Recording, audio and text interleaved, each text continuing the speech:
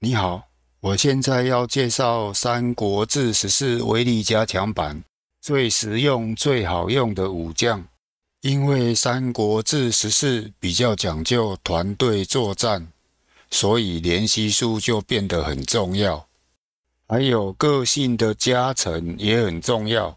还有武将的统帅关系着部队的攻防，所以统帅也很重要。有玩过《三国志十四》的，应该都知道，最好用的个性有神机、神将、奸雄、飞将。当然，每一个玩家都有不一样的看法。对我的评论，你可以当做参考就好了。我会以联系数、个性、统帅、阵型还有战法来当做评论的指标。如果你有不同的看法，欢迎留言讨论哦。在开始之前，请别忘了分享和订阅，还有按赞一下哦。第一个，我觉得最好用、最实用的就是关羽。除了统帅武力高之外，还有神将，提升范围内我方部队的攻军跟防御力。神将的加成比奸雄还要多，神将是加三十趴攻军跟防御力。关羽的统帅跟武力本来就很高，也不怕单挑了。单挑要胜过他的，可能只有吕布而已哦。阵型也不错，战法虽然不是很好用，但是也不会太差。还有他的联系数也非常多哦，除了刘关张、关家军，还有张辽、徐晃，还有一些敬仰他的武将。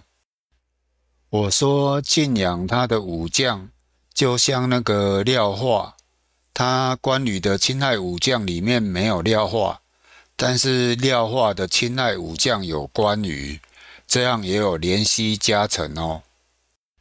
因为连系数还有个性、武力跟统帅，所以我把关羽排在第一。第二个，我觉得是曹操。虽然奸雄的加成比神将还要低，但是曹操的战法魏武之强，可以说是《三国志十四》最强的战法，提升我方的全能力。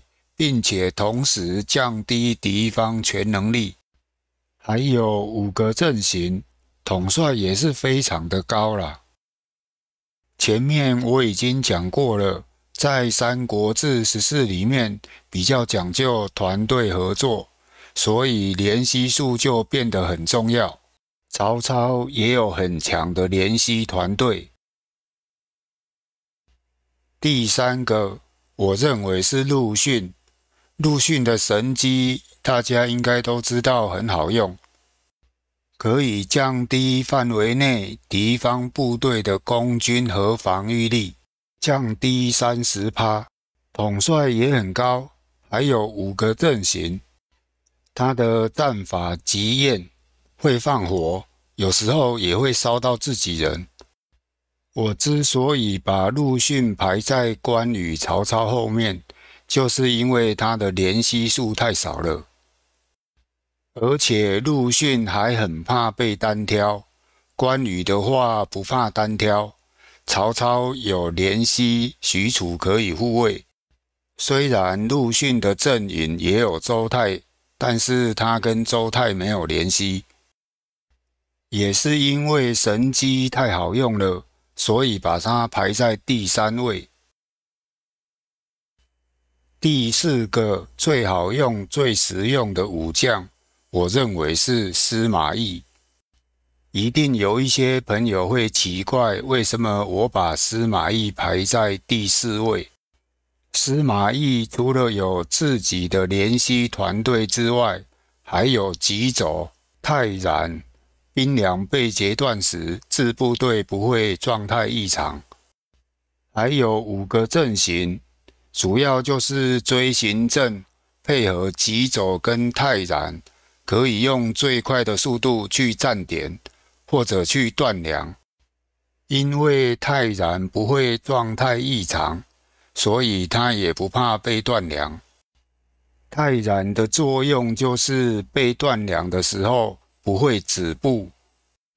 司马懿的战法神机妙算，也是很好用的战法。他还有全三国志十四最高的统帅九十九。第五个好用的武将。我认为是诸葛亮，因为诸葛亮一出来的时候就有一百智力，在《三国志十四》里面当军师一百智力很重要。还有好用的战法卧龙，状态异常型战法必定成功，并延长期限，状态异常无效。这个状态异常无效指的就是。如果他被断粮的时候不会止步，也不会混乱，所以他也不怕被断粮。可惜的就是诸葛亮并没有移动力比较快的阵型，像是风使阵、锥形阵啊，所以我把它排在第五位。战法神算鬼谋也是非常好用的战法，配合卧龙。全状态异常，必定成功。诸葛亮还有王佐的个性，待在都市时，都市所有地区的开发数值上升。这个个性初起的时候，待在城市很好用。还有诸葛亮的怜惜术也不少了。除了这些，还有一些敬仰诸葛亮的武将。像是蒋琬、费祎啊，因为阵型的关系，所以我把它排在司马懿后面。如果不谈军事，只谈政治的话，诸葛亮肯定排在司马懿前面。第六个，我觉得好用的武将是张角，虽然张角的联系武将只有张宝跟张良。但是他的个性黄天，可以恢复范围内我方部队的伤兵，幻术可以降低范围内敌方部队的士气。在讲究团队作战的《三国志十四》里面，这两个是很好用的个性。还有太平要术也是非常好用的战法，全状态异常，恢复伤兵。还有医术也是很好用的个性。待在城市的时候，受伤的士兵和受伤的武将恢复量上升。第七个，我觉得是孙坚。之前有朋友问我说，派部队去站点，如何防止被断粮？我觉得个性里面要有卧龙、洞察、泰然。还有果敢，因为被断粮的时候，最怕的不是掉士气，而是止步。假设你要去占领那个点，可以包围占领。如果你不要被止步的话，就可以安全的到达那个点，这样敌方部队可能就被你断粮了。假设你是要去断粮的，结果不小心反被断粮了。如果你还能够移动的话，也可以回城或者逃跑啊。孙坚有追形阵，又有果敢，也可以快速站点或者断粮，只差没有急走而已。孙坚还有骁将，提升范围内我方部队的攻军威风，降低敌方部队的士气。孙坚的统帅其实是九世，因为加上《孙子兵法》书，才会有一百零四。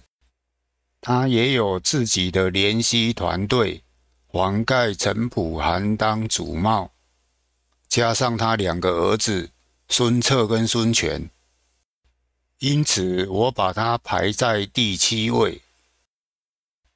第八，我认为是周瑜。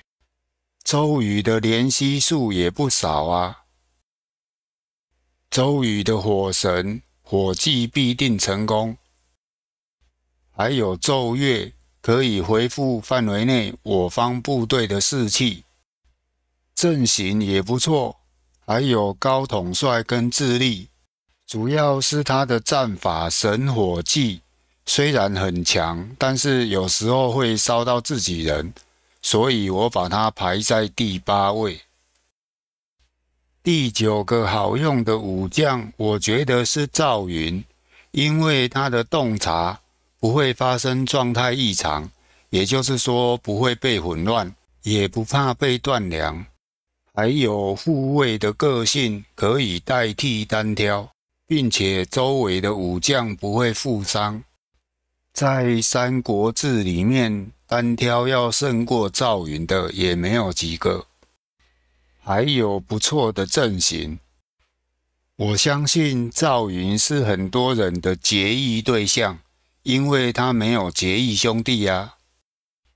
另外，赵云也有不少亲爱武将，还有一些仰慕赵云的武将，比如说姜维、马云禄、关云平，这些跟赵云都有联系。